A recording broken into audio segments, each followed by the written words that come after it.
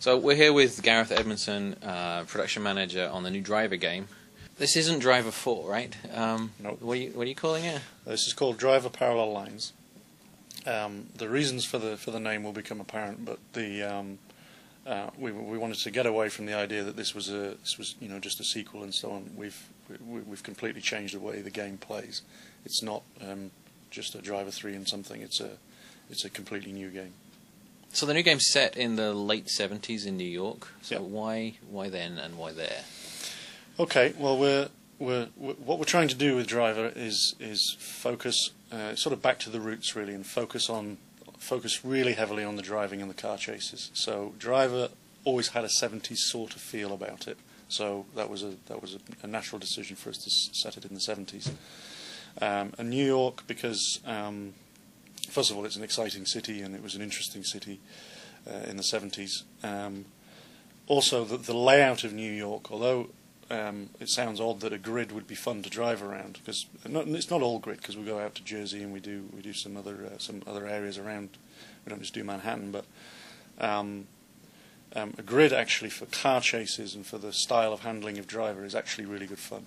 So on the early Driver games, um, they were a lot more heavy about the driving, and I mean I remember playing the early, the first one on PS1, and it was all about the handling of the cars, and it was one of the first games sort of where you really felt like you were in a muscle car tearing around corners and power sliding, and with each successive game, it got more, it got further away from that and more towards the on-foot stuff and the and the sort of the the shooting. I mean, are mm. you are you moving back towards that or Definitely, the focus is very much driving. Um, there is out of the car stuff. We've completely overhauled that over Driver Three, so it's it's it's a lot better. But um, the focus is very much car chases and very much driving muscle cars, doing big power slides around corners and all that good stuff.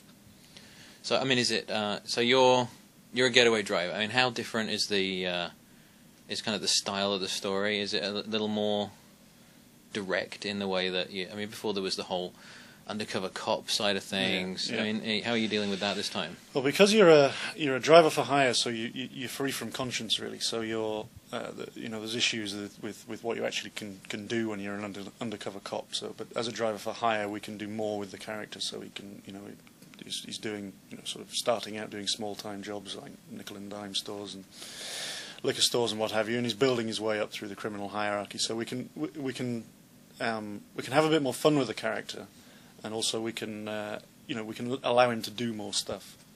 So I mean, very often when we see a franchise reinvented like this, it tends to come with a with a hardware transition. But this game's on Xbox and PS2. And how, right. Why why do that? PlayStation 2 and Xbox will still be very strong, still massive, massive audience out there, and uh, um, you know also uh, you know we want to we want to get the fans back after Driver 3. So you worked on Driver Three, right? Yeah. So if you could go back and change one thing about Driver Three, what would it be? Um, I would have made it more focused on driving. All these freeform games, I mean, like the one thing that's always under criticism is is is the combat. You look at GTA, you look at previous drivers. It, it's always been the the running around and the and the, the shooting at stuff. It it it never seems to work quite right. I mean, do you feel that you've you've nailed it with this one?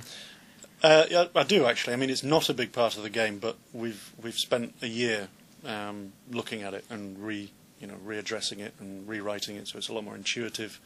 Um, it, it's uh, but it, it's still a fairly light part of the game. And we heard a lot about movies with Driver 3. The Mhm. movies was a constant comparison. It was always Yeah. movie production values and movie style scene. I mean, is that are you kind of casting that aside and trying something different, or No, I think we're still we're still Hollywood car chases. I mean, I think that's still you know that's really what it's about. It's all about car chases, um, and it's all about you know playing out the Hollywood car chases yourself. So uh, that's still a still a heavy influence.